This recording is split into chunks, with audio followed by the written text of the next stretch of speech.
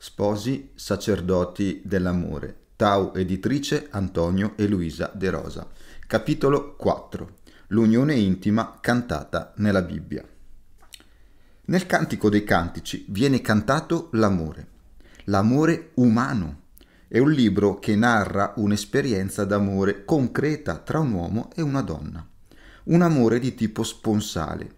Tutto il contesto lo fa credere non è solo un amore oblativo di dono, non è un amore platonico, è un amore prevalentemente carnale, è un amore completo, totale, un amore passionale con risvolti erotici per nulla velati, ma molto espliciti, dove, seppure in modo poetico e mai volgare, non viene tralasciato nulla del corpo dell'amato e dell'amata non viene tralasciato nulla di sensazioni, emozioni, sapori, odori e colori. Una bellezza che piano piano si svela, proporzionalmente allo svelarsi e all'accogliersi vicendevole dei due sposi, in un crescendo di esperienza sempre più concreta ed intima nell'uno con l'altro. Per vivere questo amore cantato nel cantico dobbiamo purificare il nostro sguardo dobbiamo essere capaci di eliminare una certa malizia che spesso si nasconde dietro certe idee di amore erotico. Dobbiamo eliminare anche un falso pudore che spesso nasconde la nostra chiusura all'altro e incapacità di farci dono. L'amore erotico tra due sposi non è nulla di vergognoso o di sporco. Certo, possiamo sporcarlo noi con il nostro egoismo, L'amore erotico che Dio ha pensato per noi è qualcosa che apre alla meraviglia dell'amore, che diventa esperienza concreta vissuta nel corpo.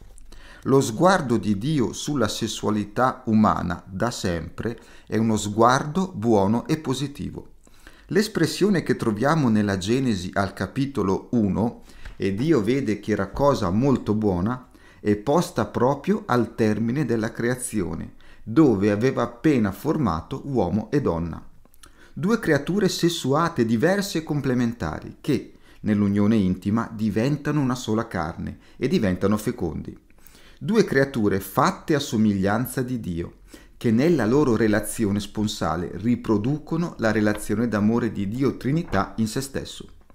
Detto in altre parole, Dio ci ha voluto sessuati perché nell'unione intima e completa di due sposi si potesse scorgere in maniera diversa e limitata ma concreta la relazione perfetta delle persone della Trinità. Il corpo, che non solo ci appartiene ma ci costituisce come persone insieme all'anima, diventa strumento per esprimere in modo chiaro e netto quell'amore che abbiamo nel profondo di noi il corpo rende visibile ciò che non è visibile. Una realtà non solo lecita, ma santissima. Santissima come lo è il cantico. Il cantico parla di questo amore, un libro da leggere con lo stupore di chi si addentra nella profondità del pensiero di Dio, un libro che apre alle meraviglie di un'esperienza che noi sposi possiamo e dobbiamo vivere nella concretezza della nostra relazione e della nostra vita insieme.